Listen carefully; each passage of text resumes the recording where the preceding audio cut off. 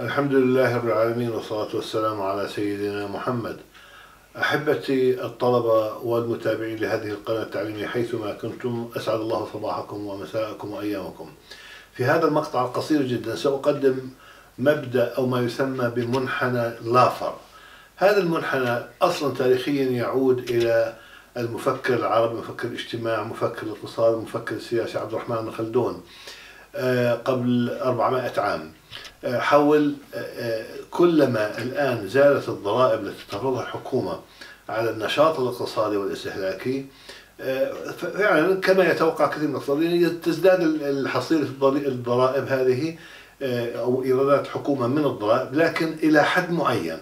وبالتالي لا تستطيع الحكومة أن تستمر الآن برفع معدلات الضريبة على الإنتاج والاستهلاك بهدف أو بأمل أن تزيد إيراداتها لأن هذا سيؤثر على النشاط الاقتصادي ويضعف من كمية الإنتاج ويقللها وبالتالي تقل الضرائب بعد فترة أو بعد معدل معين.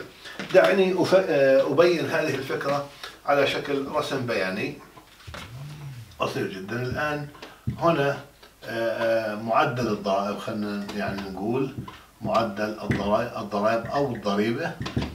وهنا الإيرادات. الإيرادات.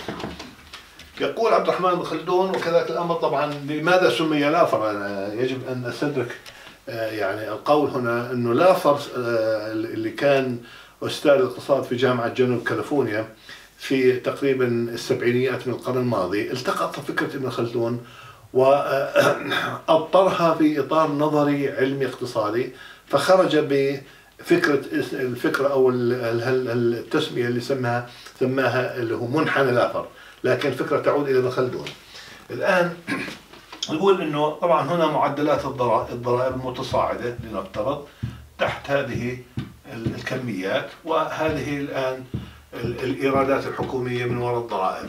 Okay؟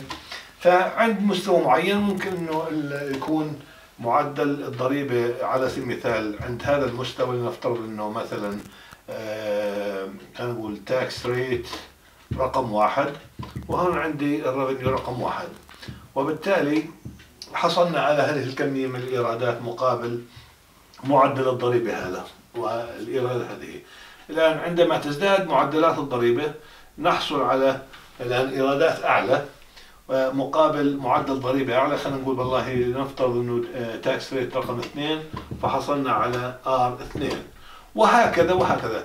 لكن هل هذا نستطيع أن نستمر الآن بالزيادة إلى ما لا نهاية؟ نظرية ابن خلدون والتي أصبحت فيما بعد منحنى لافر تقول لا.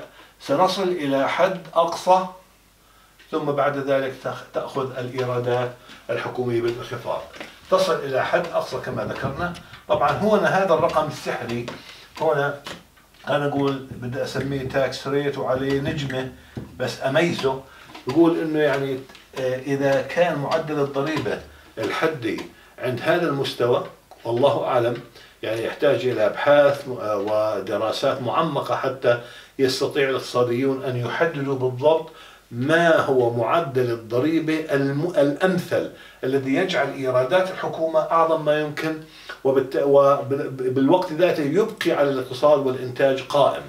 فهذا أقصى حد للضريبة بعد ذلك إذا زالت معدلات الضرائب تأخذ الإيرادات بالانخفاض التدريجي إلى أن آه، تنعدم إلى حد ما ولو نظريا. هذا يعني بأن زيادة معدل الضرائب على الإنتاج والاستهلاك يؤدي إلى زيادتها إلى حد معين ثم تأخذ بالأخير بالانخفاض لأنه سيقضي أو يقلل من الإنتاج والاستهلاك والنشاط الاقتصادي أكون بذلك قد انتهيت من هذا المقطع بإذن الله وإلى لقاء آخر. والسلام عليكم ورحمة الله وبركاته.